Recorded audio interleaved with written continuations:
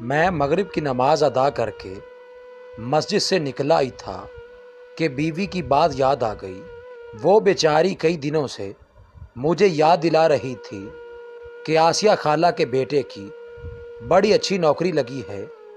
किसी दिन उनके घर जाकर मुबारकबाद ही दे आओ, खाला आसिया।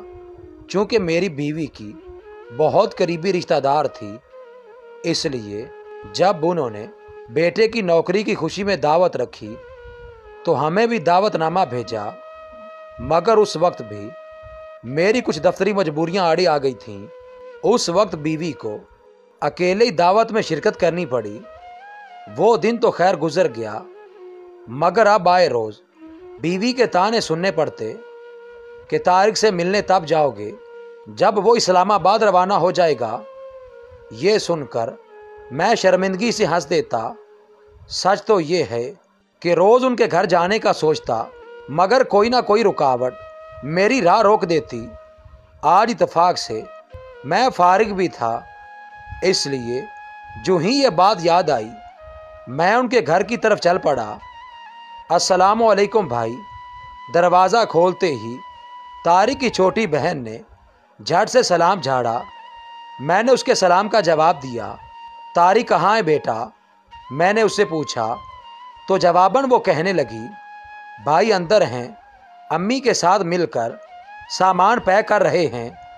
ये कहकर वो मुझे कमरे में ले गई, जहाँ खाला आसिया और तारिक कमरे में बिखरा सामान पैक कर रहे थे।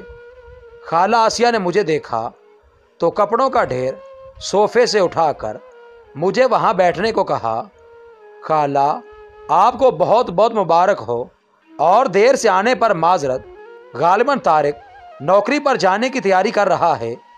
मैंने देर से आने की माजरत की तो खाला आसिया कहने लगी, अरे खैर बेटा, कोई बात नहीं। फिर वो अपने बेटे की तरफ़ मुतवजह हुई। तारिक बेटा, गरम कपड़े रख लिए ना? मैंने उनकी तरफ़ देखा, जो काफ़ी फिक्रमंदी से तारी के सामान का आज सारे नौ जायज़ा लेने लगी। जी अम्मी, रख लिए थे।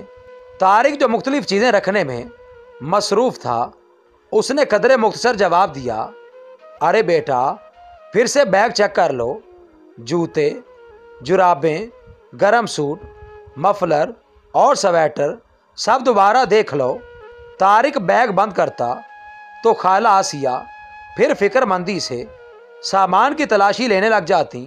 देखो ना बेटा, उन्होंने मेरी तरफ़ देखकर कहा मैं जो चाय पीते हुए दोनों माँ बेटे की गुफ्तगु सुन रहा था, इस बात पर सारी तवज्जो उनकी तरफ़ मबजूल कर दी। एक तो इस्लामाबाद में गज़ब की सर्दी पड़ती है, ऊपर से मेरे बेटे का बेफिक्रापन। मैं तो पिछले कई रोज़ से ये सोच सोच कर हलकान हुए जा रही हूँ कि ये अकेला इतनी दूर कैसे रहेगा, न जाने कैसा माहौल होगा और इर्द गिर्द के लोग कैसे होंगे। भाई, मेरा तो नाजों का पला बच्चा है। मुझे तो बहुत फ़िक्र हो रही है। मैं उनकी बात सुनकर मुस्करा दिया। अम्मी, मेरे बैग में जगह बहुत कम है। ऊपर से दादा अबू ने जाए नमाज़ भी ठौंस दी। तारिक की बात सुनकर खाला आसिया जल्दी से उसकी तरफ़ बढ़ी।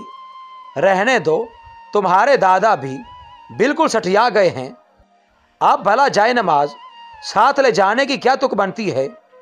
वहाँ कहीं भी नमाज़ पढ़ लेगा, तुम बस ये निकाल कर गर्म सूट रख लो। ये सर्दी में तुम्हारे काम आएगा। मैं उनकी बात सुनकर हैरत से उन्हें देखने लगा, क्या वाकई ये गर्म सूट, जुराबें, मफलर, ये सब उसके काम आएगा? कभी हमने सोचा है कि वो असल सफ़र, जहाँ हमने हमेशा के लिए जाना है, जहाँ हमेशा रहना है, वहाँ भी यही कुछ काम आएगा? जो माए अपने लगते जिगर के दुनियावी आराम के लिए इतना कुछ करती हैं, कभी उनकी अवधि ज़िंदगी के बारे में क्यों नहीं सोचती कि अंधेरी कब्र में वो कैसे रहेंगे? क्या हमने कभी ये सोचा है कि हमारी औलाद ने उस सफ़र के लिए भी कोई ज़्यादा राह जमा किया है? या वहाँ खाली हाथ जाएँगे?